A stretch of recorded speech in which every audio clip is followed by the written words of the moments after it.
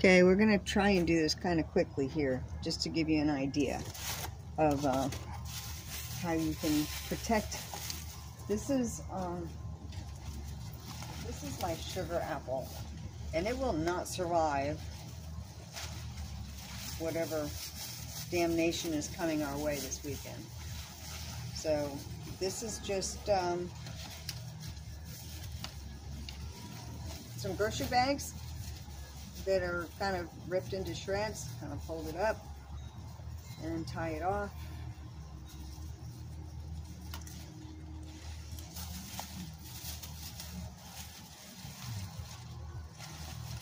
That's a PVC uh, stake that I'm holding everything to. We're not looking for pretty by the time this is over. What we're looking for is survival. We just want our investments to survive. Right now, that's our objective. So, box over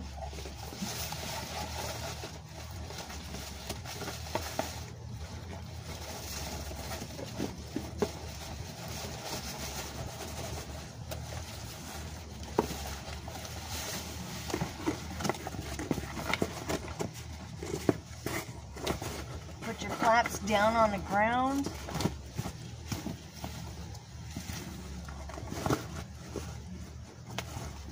Like so.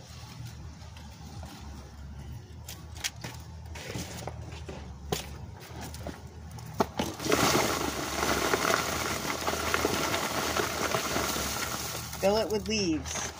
Your leaves are going to be your insulator. Doesn't have to be packed. It just has to be in there. It just has to give you some insulation. Now, you can also use balled up newspaper. You don't have to pack it tight. You just got to have it in there. Uh, you can also use, um, uh, oh, what are those called? The packing peanuts.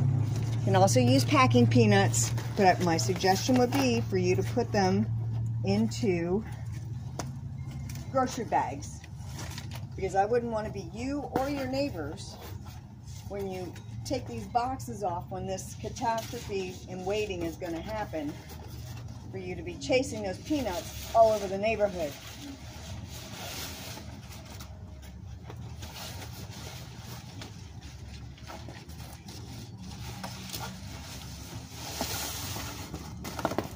Just kind of put this in here.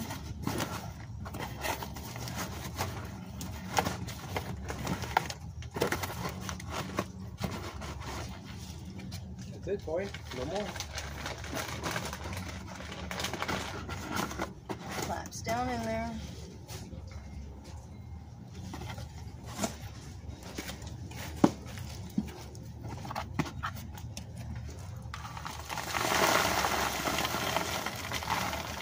These are just oak leaves. This is nothing. I got these off the swale. Know, just any leaves will do. Don't have to be clean. Have to be any of those things.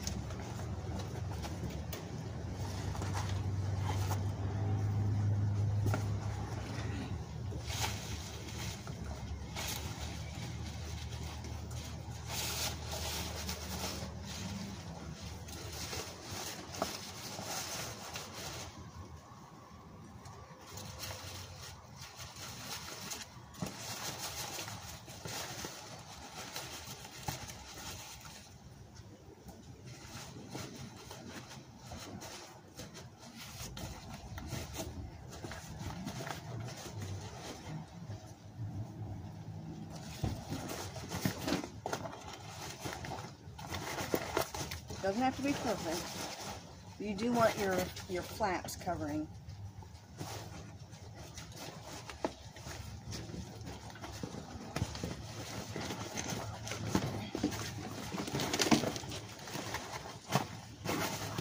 You see when you put your flaps up, and you can tape it or zip tie it or do whatever it is you want to do. But I want to get as much of my trunk covered as possible, at least some of my leaves because that's if, if this dies, at least you have this down and your plant can grow back from here up. So we're not looking for perfect, we're looking for survival.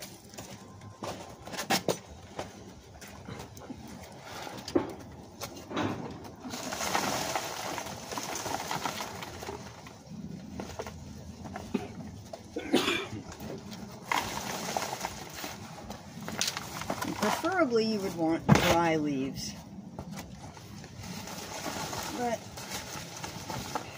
I'm not going to get that this time around. So, what I'm going to do from here on out is I'm going to take a sheet and put around the rest of this and hope for the best. But I do know that from my Y, which is down here, and so from all the way up here, which is where my branches are, and all the way down will survive. That will sprout back, and that's what you want.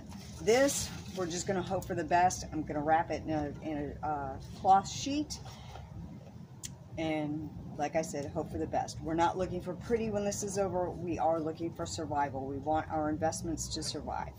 All right, folks. That's the best I can do.